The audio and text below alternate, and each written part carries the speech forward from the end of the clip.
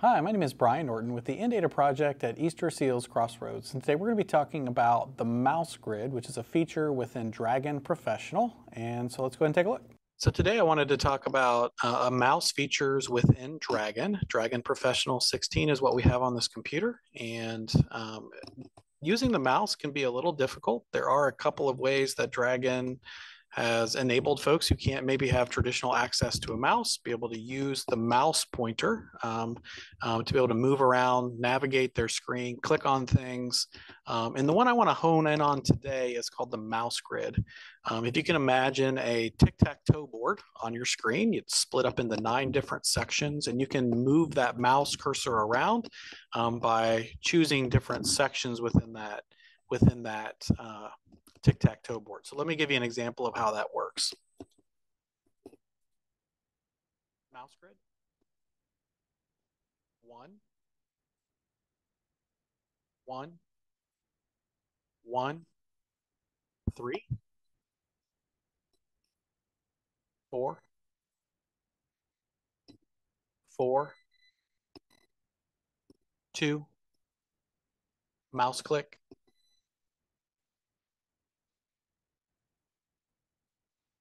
mouse click, mouse grid,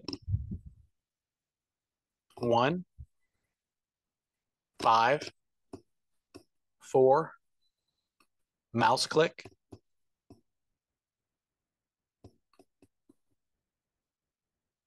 go to sleep.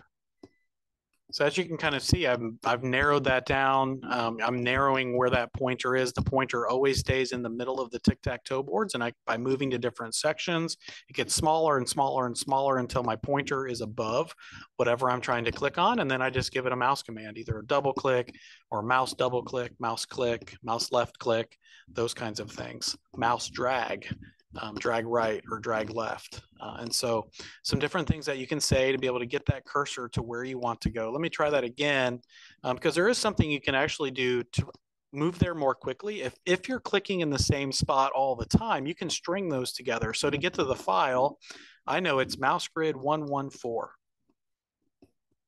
So I'm just going to say that all together really quickly. I'm going to turn my microphone on and say that all together really, really quickly. And it should put my mouse cursor right over top of file.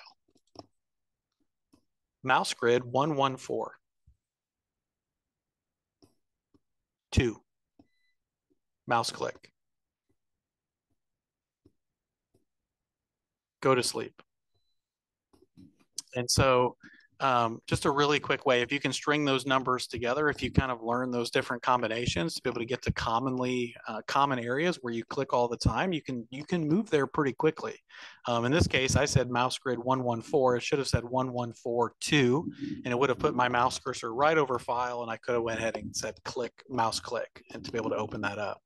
Um, but just a really quick um, tech tip on how to use the mouse, uh, mouse grid in particular within um, Dragon. Well, that's your tech tip for today. I want to say thank you to the Indiana Telephone Relay Access Corporation for sponsoring our captions today. My name is Brian Norton with the InData Project at Easter Seals Crossroads in Indiana.